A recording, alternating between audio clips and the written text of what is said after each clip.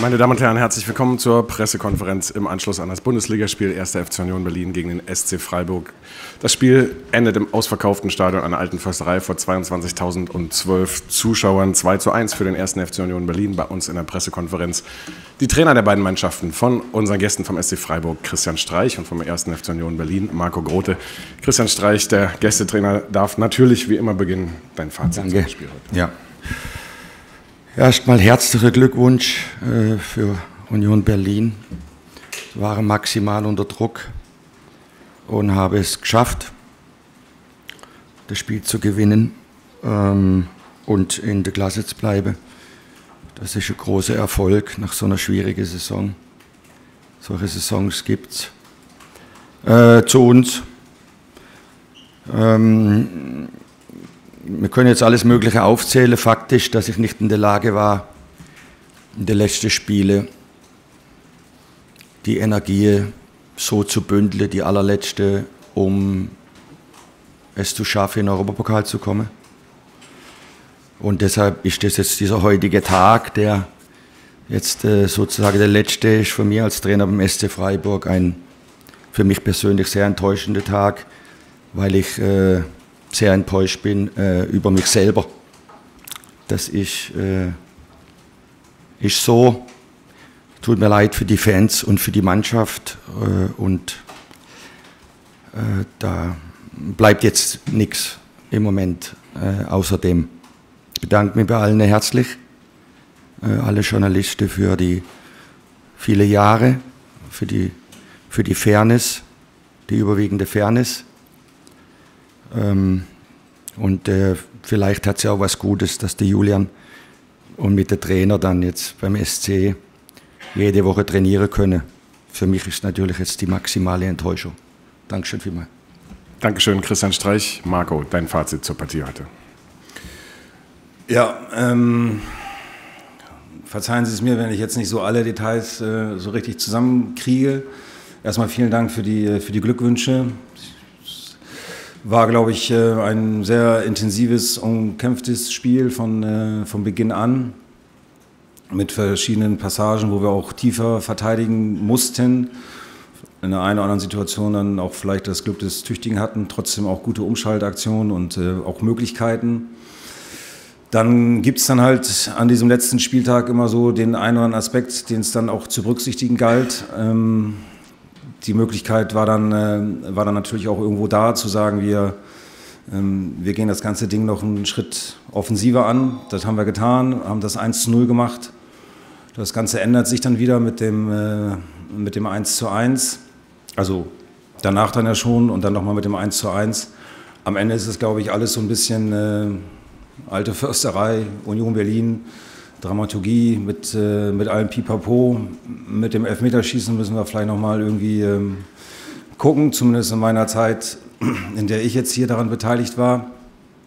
Am Ende ist der Abpraller rein und äh, ich glaube einfach, dass das ein wahnsinnig tolles Gefühl für, ähm, für viele Menschen ist, die sehr gebankt haben, gezittert haben, immer da waren, so wie es vermutlich, das kann ich mir gar nicht anmaßen zu, zu beurteilen. Aber immer, äh, immer hier so war, dieses Gefühl war die ganze Woche da, krasse Stimmung in der alten Fürsterei, ständig äh, dran zu glauben, zu pushen. Die Spieler auch, auch nicht so einfach, also Elfmeter verschießen, ähm, trotzdem dran zu bleiben, dann zu verteidigen, Ausgleich und äh, nochmal wieder die Kurve zu kriegen, um das Spiel äh, für sich zu entscheiden, den Klassenerhalt zu schaffen. Ja, kann ich auch nur von außen äh, so einschätzen und, äh, und, und, beurteilen, war bei vielen Dingen letzten Endes auch nur Fan, Zuschauer, Mitarbeiter. Champions League-Saison, ganz wahnsinnig viele ähm, Erlebnisse. Es spricht für alle in diesem Verein, für die Spieler. Es war schön, das eben einfach zu sehen, wie, wie ausgelassen äh, sie gefeiert haben, wie viel Druck da tatsächlich abgefallen ist, ähm, welche Erleichterung und wie sie sich das auch erlaufen, erkämpft und ähm, erspielt haben und äh, am Ende auch verteidigt haben.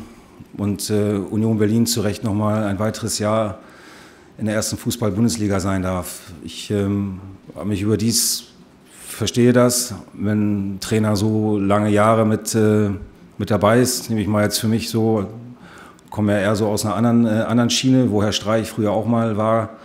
Und dann ist das sicherlich äh, schade und bitter, wenn man dann dieses äh, letzte Ziel erreicht. Und die Enttäuschung kann ich auch sehr gut verstehen, aber hat mich sehr gefreut, dass wir uns vor dem Spiel durch Zufall, durch Zufall in der einen Ecke noch eben kurz gesehen haben, ein bisschen geschnackt haben.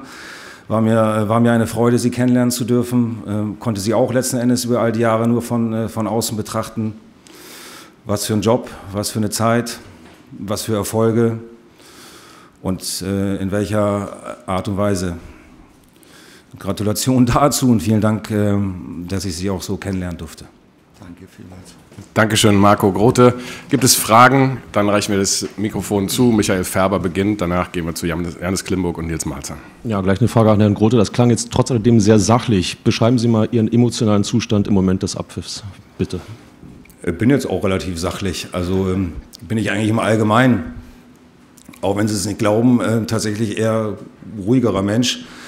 Ähm, und dann ähm, ähm ist es schon mal so beim Fußball in der ähm, Coachingzone oder manchmal auch in, äh, in, Besprechungen oder in Inhalten will man bestimmte Dinge und dann gehört es auch dazu, sie, ähm, sie einzufordern, ähm, zu wiederholen, zu üben, zu helfen, zu pushen, zu emotionalisieren. Das gehört dann ein Stück weit zum Job, das gehört auch zu mir als, als Menschen, als, äh, als Person.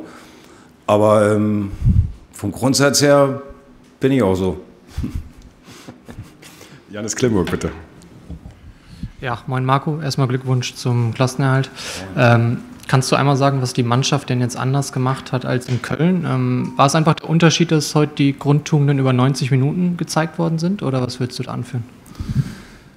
Da sind wir bei den konkreten Inhalten. Ja, das ist, äh, also ich, wie gesagt, ich hatte das ja auch schon versucht, ich verstehe das auch alles. Ähm, äh, klar, 2-0 Führung am Ende 3-2 und das Ergebnis ist dann immer äh, etwas. Das war ja heute auch spitz auf Knopf, so ehrlich müssen wir ja auch sein. Also ähm, ähm, und das war es in Köln eben auch. Und da waren dann in den letzten Minuten vor allen Dingen, und da führt natürlich auch ein Weg dahin, das eine oder andere, was dann eben nicht, nicht gereicht hat. Insgesamt kann ich nur wieder wiederholen, das war die ganze Zeit meine Überzeugung, mein, äh, mein Glaube und auch mein Wissen, weil ich sie kenne, weil ich sie äh, auch kannte aus November. Klar, nochmal eine andere Situation, die sich dann im Laufe der Zeit nochmal so verschärft hat oder äh, entwickelt hat. Aber gute Spieler, einfach gute Spieler, gute Menschen übrigens auch. Also in einem, in einem Zusammenhalt. Und das haben sie heute von der ersten bis zur, bis zur allerletzten Minute zusammen. Egal wann, wer, in welcher Rolle, was, äh, was nötig war, egal mit welchem Spieler, von, von welchem Zeitpunkt, hochgradig äh, ausgelebt. Ja. Nils Malzahn, bitte. Marco, Glückwunsch auch von mir. Äh, ich weiß, es ist jetzt kurz nach dem Spiel und äh, noch nicht der Zeit für Rückblicke, aber ein kurzer Rückblick vielleicht auf diese zwei Wochen mit der Dramaturgie von letzter Woche in der Nachspielzeit verloren, heute in der Nachspielzeit gewonnen. Waren das so die, die zwei ja, intensivsten Wochen so in deinem Trainerleben? Also letzten Endes lebt ja jeder den Job so, wie er, wie er es für richtig hält. Ich lebe den grundsätzlich eh schon intensiv. Also macht mir einfach wahnsinnig viel Spaß. Ich bin gerne Fußballtrainer. Ähm, dann ist es schon jetzt so, ähm, dass es unter bestimmten Aspekten dann vermutlich noch ein bisschen intensiver war. Ändert aber nichts am Spaß. Also hatte ich jeden Tag, können Sie mir glauben. Also habe ich auch versucht rüberzubringen und war auch so, ist auch so, auch unabhängig vom, äh, vom 1. FC Köln.